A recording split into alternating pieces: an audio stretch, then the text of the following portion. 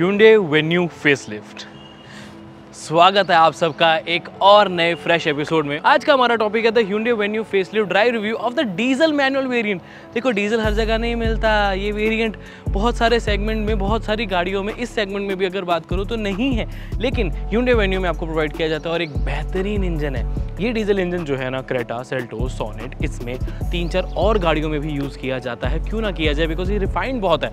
लेकिन क्या Hyundai Venue facelift के साथ सिर्फ़ रिफाइनमेंट ही बहुत होती है? नहीं माइलेज पावर उसके साथ साथ इसकी परफॉर्मेंस एन वी लेवल सब कुछ हम डिटेल में डिस्कस करने वाले हैं। तो वीडियो को एंड तक ज़रूर देख लें और इस तरह की वीडियोस के लिए सब्सक्राइब ज़रूर कर लिए चलिए शुरू करते हैं।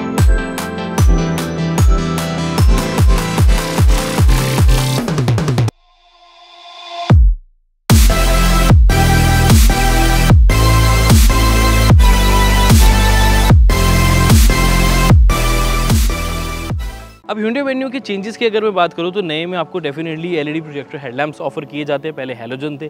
हेलोजन आपको यहाँ पर कॉर्निंग लैम्प्स ऑफ़र किए जाएँगे। फॉग लैम्प्स नहीं है। यहाँ पर एलईडी डीआरएल और ये इंडिकेटर का काम करते हैं। ध्यान रखें कि ये लाइट कुछ भी नहीं है। जो फ्रंट ओवरऑल इसका लुक है, थोड़ा अग्रेसिव हो गया है पहले से ज़्यादा। पहले थोड़ा क्यूट लुक थी, अब अग्रेसिव लुक डेफिनेटली हर किसी को अच्छी लगती है। Hyundai वेन्यू में आपको टोटल सेवन कलर ऑप्शंस मिल जाती हैं और ये ड्यूल टोन के ऑप्शन भी है, जहाँ पर सनरूफ के साथ ही क्या ब्लेंड होती है मज़ा आ जाता है। रूफ रेल्स आपको बहुत प्यारे ऑफ़र किए जाते हैं। ब्लैक डाउट एलिमेंट्स आपको ओ के ऊपर भी देखने को मिलेंगे बिकॉज़ ये ड्यूल टोन है तो वहाँ पर आपको ब्लैक डाउट ओ ऑफ़र किया गया है यहाँ पर और यहाँ पर ऑफकोर्स रियर साइड में बहुत ही प्यारा नया इसकी जो एलईडी टेल लैंप है या पूरा डिज़ाइन है वो भी काफ़ी ज़्यादा एग्रेसिव लग रहा है। पहले वाली वेन्यू में डिज़ाइन का ही थोड़ा सा कमी लगती थी रियर साइड से, कि इतनी ज़्यादा अच्छी नहीं है। बट अब डेफिनेटली काफ़ी बेटर और फ्यूचरिस्टिक हो गई है। नए अलॉय व्हील्स भी आपको यहाँ पर ऑफ़र किए जाते हैं और बहुत सारे ऐसे फीचर्स हैं जो नए हैं। यहाँ पर मैं लिस्ट आउट आपके लिए कर लेता हूँ because this is not a walk around video this is this was a complete drive review तो फिर भी, लेकिन बताना ज़रूरी है तो यहाँ पर सारे नए वाले फीचर्स आपके लिए लिस्ट आउट कर देता हूँ। सबसे पहले होती है परफॉर्मेंस अब डीजल इंजन है तो आपको दो ही चीज़ें चाहिए होती है परफॉर्मेंस और माइलेज तो सबसे पहले बात कर लेते हैं इसी की परफॉर्मेंस के बारे में। So this is a 1.5 litre C engine सबसे अच्छी चीज़ इसकी ये है कि बहुत ही रिलायबल इंजन है ये। बहुत सारे आपको वेरियंट्स के साथ, बहुत सारी गाड़ियों के साथ इसको ऑफ़र किया जाता है। क्यों? क्योंकि इसकी पावर भी बहुत अच्छी है। 100 पी ऑफ़ पावर थोड़ा डी ट्यून किया गया इसको। 100 P of power with 240 newton metres of torque आपको इस सेगमेंट में जो ये 1.5 यूज़ किया जा रहा है, वहाँ पर ऑफ़र किया जाता है। इंटरेस्टिंगली जो टॉर्क है ना, उसका बैंड बहुत अच्छा है और आपको एक अच्छी खासी टॉर्कीनेस यहाँ पर मिल जाती है और चलाने में फन टू ड्राइव एलिमेंट पूरा लगेगा। नो no डाउट जो फन टू ड्राइव एलिमेंट ज़्यादा है, वो आपको मिलेगा इन द टर्बो डीसीटी लेकिन डीजल में भी ऐसे ऐसा हम नहीं कह सकते कि बहुत ज़्यादा कोई कमी है या अच्छी पावर नहीं मिलती है। हमेशा ये इंजन टॉर्की नेचर के साथ आपको पावर देने के लिए रेडी रहता है which is a great great thing इस इंजन की सबसे चीज़ मुझे यही लगती है। Now if you move on to the steering wheel of this vehicle काफ़ी बैलेंस्ड है, काफ़ी लाइट भी आपको यहाँ पर ऑफ़र किया जाता है, ज़्यादा हैवी आपको महसूस नहीं होगा स्टेयरिंग इसका। तो उसका बेनिफिट मेरे को ये मिल जाता है कि सिटीज़ में भी कॉन्फिडेंस मुझे मिलता है टर्निंग वगैरह में। हाईवेज पे आपको स्टेबिलिटी तो ऐड होती ही है।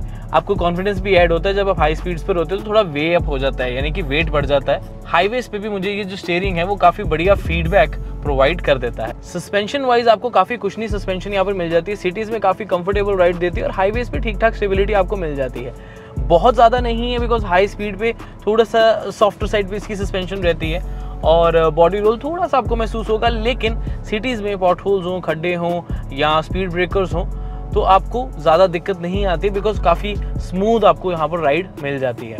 ब्रेकिंग वाइज आपको फ्रंट में तो प्रॉपर आपको डिस्क ब्रेक्स मिल जाती है, लेकिन रियर साइड में आपको डिस्क ब्रेक्स की कमी जो है वो थोड़ी सी महसूस होगी फॉर श्योर उसमें किस तरह का कोई शक नहीं है। एंड आपको ये भी बताना चाहूँगा कि सेफ्टी फीचर्स में इन्होंने vehicle stability management electronic stability control इस तरह के features A B S E B D of course वो सब तो ऑफ़र किए ही हैं। लेकिन फिर भी मुझे ये लगता है कि रियर में डिस्क ब्रेक होती तो ज़्यादा अच्छा लगता कस्टमर्स को भी और मुझे भी।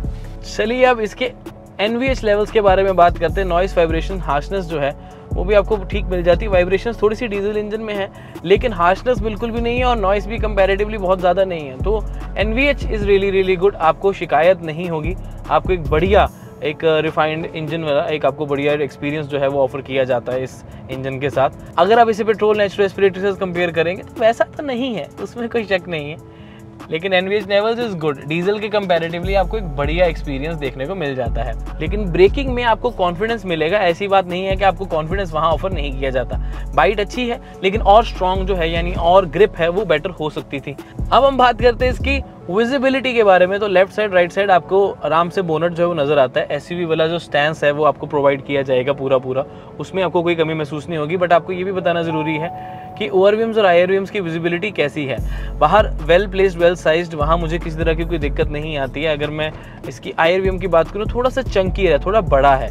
विजिबिलिटी में कोई प्रॉब्लम नहीं है, लेकिन फिर भी आपको ऐसे थोड़ा सा ध्यान जाता है कि थोड़ा ज़्यादा ही बड़ा है यार। तो वो थोड़ा छोटा किया जा सकता था। I personally believe that safety safety में आपको सिक्स एयर बैग्स भी ऑफ़र किए जाते हैं। Hill start vehicle stability management electronic stability control और उसके साथ साथ आपको ए बी एस तो है ही। तो ये चीज़ें जो है, इस गाड़ी को और स्पेशल भी बना देती हैं और थोड़ा और ज़्यादा सेफ़ भी। आई पर्सनली वॉन्टेड कि अगर इस गाड़ी की सेफ्टी रेटिंग थोड़ी ज़्यादा होती तो ऑफकोर्स किसी नहीं अच्छा लगता। नाउ कंफर्ट कंफर्ट वाइज आपको लेफ़्ट साइड पे तो आमरेस्ट जो है, वो पैडिंग वडी मिल जाती है। राइट right साइड पे है, वो भी आपको पैडेड मिलती है, लेकिन सिर्फ़ टॉप मॉडल में। बाकियों में आपको थोड़ी प्लास्टिक की मिलेगी। वो भी थोड़ी पैडेड होती है मिडल वेरियंट्स में पैडेड भी होती है तो ज़्यादा अच्छा लगता। बट कंफर्टेबल सीट्स जो हैं, वो बहुत बढ़िया हैं। बिकॉज़ इसमें आप लॉन्ग ड्राइव में थकने वाले नहीं हैं पैडिंग बहुत सॉफ्ट है। सीट्स की जो कुशनिंग है, वो भी आपको डेफिनेटली पसंद आएगी बिकॉज़ क्वालिटी बहुत अच्छी यूज़ की गई है इसके सारे मटीरियल में सॉफ्ट टच मटीरियल्स में। तो उसका डेफिनेटली एडेड बेनिफिट यहाँ पर है, क्योंकि ह्यूंडे कंपनी ने ना क्वालिटी में किसी तरह का कोई कॉम्प्रोमाइज़ नहीं किया आपको सब कुछ टॉप नॉच मिलेगा। अब आप लोग सोच रहे होंगे कि इस गाड़ी में माइलेज कितनी मिल जाती है? वो बहुत इंपॉर्टेंट है यार। डीजल वेरिएंट ले रहे हो माइलेज की वजह से आप कहीं ना कहीं कंसिडर कर रहे हो इसको। तो माइलेज में वैसे तो कंपनी तो काफ़ी अच्छा खासा 22 का क्लेम करती है बट अगर सिटीज़ की बात करें, तब आपको मिल जाती है अराउंड 18 मैक्सिमम लेकिन मिनिमम भी अगर लेके चलें तो 15 आपको आराम से जो है वो माइलेज इसके साथ ऑफ़र की जाती है। एंड चाहे ट्रैफ़िक हो चुकी है लेकिन डीजल इंजन में माइलेज की आपको कभी कभी महसूस नहीं होगी। पंद्रह तो आराम से मिनिमम निकालता है, अगर आपकी ड्राइविंग सिटी में अच्छी है तो एटीन हो जाएगी।